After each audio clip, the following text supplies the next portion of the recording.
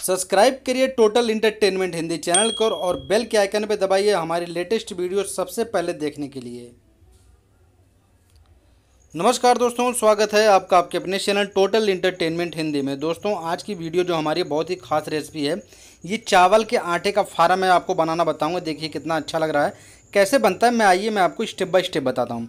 सबसे पहले मैं आपको बता देता हूँ कि 250 ग्राम हमने लिया अरहर की दाल और 250 ग्राम मूंग। इसमें पानी डाल के हम चार से पाँच घंटे के लिए इसे फुला देंगे। चार से पाँच घंटे के बाद देखिए कैसा लग रहा है। बिल्कुल फूल चुका है और हमें ज़रूरत पड़ती है लहसुन, जीरा और मिर्च की, ये देखिए। और हम इसको हम ग्राइंड कर लेंगे और ये देखिए हमने मिक्सी में इसे मिक्स कर लिया है, पूरा अच्छे तरीके से पीस लिया है। ये है दाल। दाल को हमने पीस लिया था, उसमें पानी और डालने की ज़रूरत है। जो पानी हम उसी में डाल करके उसे मिक्सी में इस तरीके से पूरा पीस लेंगे और याद रखिए, बिल्कुल मैदा की तरह पेस्ट नहीं बनाएँगे। थोड़ा सा ये दरबरा रहता है मतलब खुदरा टाइप का, ऐसा होना चाहिए। ये देखिए, उड़ती है ये। इसको भी हमने इसमें डाल दिया। अब इसमें लहसुन हम डाल देंगे। ये लहसुन है, जो हमने लहसुन अभी आपको दिखाया था, इसको भी हम मिक्सी में डाल के पीस लिए हैं। ये है जीरा और ये है मिर्च। ये सभी इसमें डाल देंगे हम, ठीक है? इसमें डाल करके इसको हम मिक्स करेंगे अच्छे तरीके से, पूरा मिला लेंगे। इसमें हल्दी पाउडर डाल देंगे और थोड़ी, एक चम्मच तक। और इसके बाद इसमें हम अच्छी तरीके से इसे भी मिला लेंगे।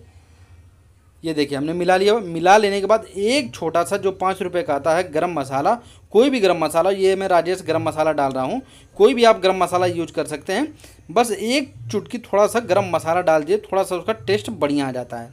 और डाल दीजिए इसमें नमक स्वाद के अनुसार। एक चम्मच हमने इसमें नमक डाला है, देखिए हमने मिक्स कर रहे हैं इसे। और इसमें आपको याद रखिए, जैसे आप मिक्स कर रहे हैं ना, इसमें आपको पानी डालने की ज़रूरत नहीं, ये बिल्कुल ढीला होता ही है। और इसको तरीके से, पूरा प्रॉपर तरीके से मिला दीजिए, ये देखिए। आप मिला देंगे, ये इसमें ज़्यादा पानी उनी डालने की ज़रूरत है जैसे आप मिलाते जाएँगे, हल्का हल्का पानी छोड़ देता है, ये है चावल का आटा। पूरा अच्छी तरीके से मिक्स हो गया। अब हम चावल के आटे को, जैसे हम आटा गूँथते हैं, इस तरीके से हम आटा गूँथ लेंगे। लेकिन याद रखें तो ये फारा जब हम बनाएँगे, चावल के आटे को टाइट थोड़ा गूँथेंगे, ढीला नहीं होना चाहिए, बिल्कुल टाइट होना चाहिए ये। इसलिए हल्का हल्का पानी डाल डाल के धीरे धीरे हम हर तरीके से इसे मिलाते रहेंगे। ये देखिए, बिल्कुल टाइट हो चुका है, देख रहे हैं कितना टाइट होगा दबा रहे हैं, बिल्कुल दब नहीं जाए कितना टाइट है ये।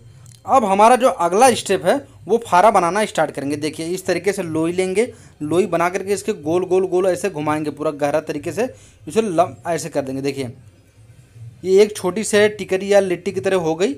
अब इसे थोड़ा सा आटा लगा लेंगे दोनों तरफ़। आटा लगाने से होता क्या है कि ये पसीजता नहीं है बाहर नहीं आता है, क्योंकि ये थोड़ा सा पानी हल्का हल्का छोड़ना था। एक चम्मच ऐसे डालेंगे और इसे देखिए हम कैसे कर रहे हैं। ये देखिए ऐसे लंबा करके इसे करना, ना कि आपके गोल बनाना, नहीं। आप चम्मच से इसको दबा दीजिए और ये लंबा करना है। ये फारा जो होता है, ये लंबा बनता है, जो कि स्टार्टिंग में मैंने आपको बना हुआ फारा दिखाया था। ऐसे इसका मुँह बंद कर दीजिए ताकि ये खुल के न आए ये देखा आपने? हमने इस तरीके से दबा दिया है और इसमें थोड़ा सा ऊपर से भी दाब देंगे ताकि इसका मुँह बिल्कुल न खुले। ऐसे कर देने से क्या होता है कि इसका मुँह थोड़ा सा मोटा हो जाता है, खुलता नहीं है उसमें। ये देखिए, बन गया है। देखने में कितना अच्छा लग रहा है। आप एक बार और देख लीजिए, इधर से भी। अब इस तरीके से मैं आपको एक दो और बना के दिखा देता हूँ। ये देखिए, हम हाथ में ऐसे लोई लेंगे, ऐसे पूरा घुमाएँगे उसे। घुमा के ऐसे दबाएँगे। देखिए और इसमें भर करके फिर से वही प्रोसेस है, भर करके ऐसे मुँह इसका बंद कर देंगे। बंद होने के बाद फिर ऐसे उंगली से ऊपर से ही हम दबा देंगे ताकि इसका मुँह और मोटा हो जाए और ये खुले ना। तो इस तरीके से हमने टोटल जो है कि चार मैं आपको बना के दिखा दे रहा हूँ। देखिए, दो ये बना दिया, दिखा दिया आपको।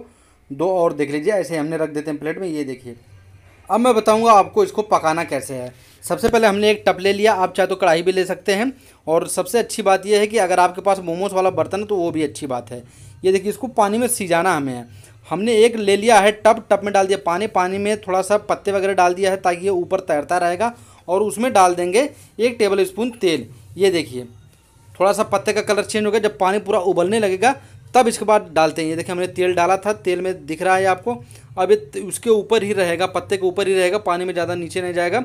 और ये भाप के, पानी का जो भाप होता है, उसकी वजह से ये सीजता है। अब इसमें सब डाल देंगे हम। मतलब जितना आ सके, जितना आपका बड़ा बर्तन रहे, जितना आ सके उतना ही डालिए, ज़्यादा न डालिए और डाल के उसको ढक दीजिए पूरा, दबा करके उसकी भाप निकले ना ये भाप से पक करके देखिए कितना बढ़िया हो गया। ऐसा हो जाता है पकने के बाद। देखिए थोड़ा सा नज़दीक से मैं आपको दिखा रहा हूँ, ये देखिए। पकने के बाद तो ऐसे हो जाता है। बहुत ही बढ़िया तरीके से पक गया है, ये देखिए। मैं आपको एक बार फिर से दिखाता हूँ। आप ऐसे भी खा सकते हैं, बहुत ही बढ़िया लगता है। या थोड़ा सा इसका आप टेस्ट चेंज करना चाहते हैं तो ये एक तरीका है, उसे थोड़ा सा आप तेल में फ्राई कर लीजिए। तेल में फ्राई करने के लिए ज़रूरी नहीं है कि आप कढ़ाई में ही फ्राई करें, आप उसे तवे पे भी फ्राई कर सकते हैं।